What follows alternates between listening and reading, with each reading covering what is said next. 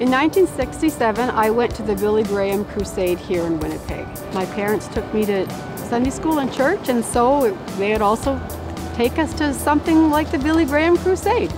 But I had decided I wanted to go forward. I wanted to be sure that I was going to go to heaven when I died. There are thousands of young people here tonight. I do remember going down, and I remember somebody meeting me who sat me down and went through everything with me, and she did a very good job. She didn't minimize the fact that I was a little girl.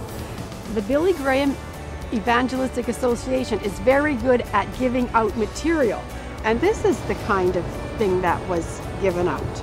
A little My Commitment folder.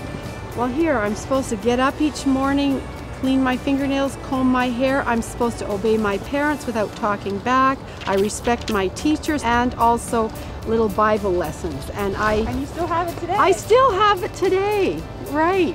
I looked for them this morning because I thought this is this is archive material, right? We've developed a prayer walk through this Forks site. We start right over there. It's called the orientation node. And then we walk around behind the Children's Museum. Then we move on through the Prairie Garden. And then we make our way back here, right in front of the stage. Having seen video clips of previous Rock the River tours, I see that Franklin is very, very much like his dad. Straightforward to the point. The gospel is the good news, and this is what we are sharing. It's the power of God through the gospel that brings people to Him. This Rock the River event is going to look a lot different than the event that I attended when I was a little girl. The music has changed. The things that will inspire a young person these days has changed.